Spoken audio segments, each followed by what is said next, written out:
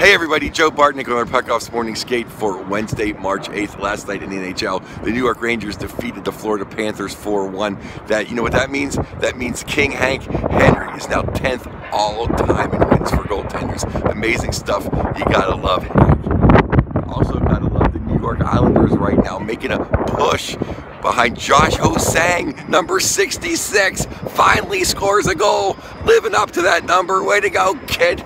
Islanders with a big two points. You also had a big two points. The Toronto Maple Leafs against the Detroit Red Wings. They win 3-2. Gustav Nyquist finally gets two goals, but not enough.